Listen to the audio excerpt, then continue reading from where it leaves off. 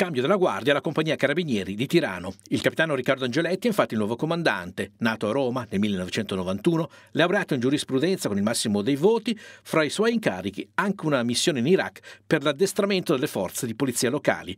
Oggi l'incontro di presentazione al comando provinciale. Il capitano Riccardo Angeletti mm, prende l'incarico sabato 30 e inizia il suo percorso quale comandante del, del reparto.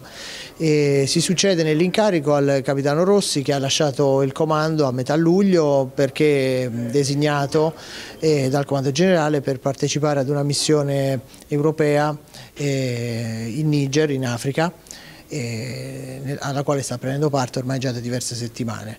E questo testimonia l'impegno dell'Arma a, a, impegnare i propri ufficiali e tutti i propri militari anche in territorio estero. Il capitano Angeletti ha comandato anche la sezione catturandi del nucleo investigativo del Comando Provinciale Carabinieri di Napoli. Ora per lui questa nuova esperienza valtellinese. Come tutti i territori di confine insomma, sono aree particolarmente sensibili dal punto di vista della, in particolar modo della prevenzione e laddove necessario della repressione.